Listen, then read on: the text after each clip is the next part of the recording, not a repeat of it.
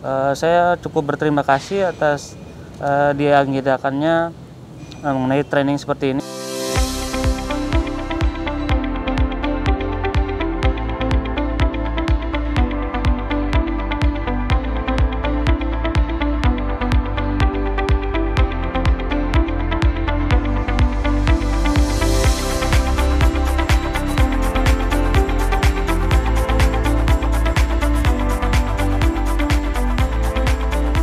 Pemerintah Kabupaten Bekasi bekerja sama dengan Komatsu Group Indonesia mengadakan program pelatihan peningkatan kompetensi dasar metalwork bagi pemasok.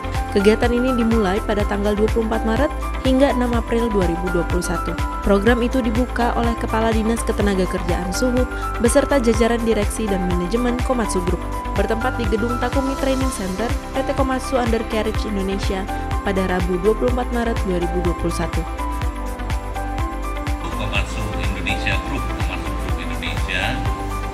Membuka pelatihan untuk seluruh rantai rangkaian rantai pasok industri alat berat Indonesia. Kepala Dinas Ketenagakerjaan Suhub sangat mengapresiasi adanya pelatihan ini. Ia berharap dengan adanya pelatihan tersebut dapat meningkatkan keterampilan para supplier dan produktivitas semakin bertambah, yang berujung pada berjalannya roda perekonomian.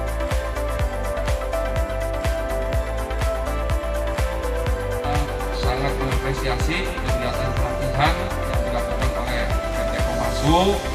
Mudah-mudahan tentunya dengan pelatihan dasar ini tentunya keterampilan-keterampilan Bapak nanti Bapak-Bapak semakin mahir tentunya semakin baik, semakin mampu tentunya mengantisipasi yang barangkali insya Allah ke depan bahwa permintaan untuk ini semakin tinggi.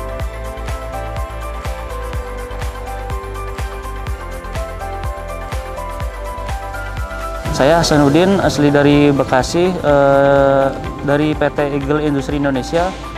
Eh, saya cukup berterima kasih atas eh, diagendakannya eh, mengenai training seperti ini. Mudah-mudahan bisa eh, mengimplementasikan di perusahaan kami. Eh, sebelumnya saya terima kasih juga untuk dari Dinas Tenaga Kerjaan telah mengagendakan training-training seperti ini. Mudah-mudahan bisa dimanfaatkan atau di, diperuntukkan untuk semua masyarakat Bekasi.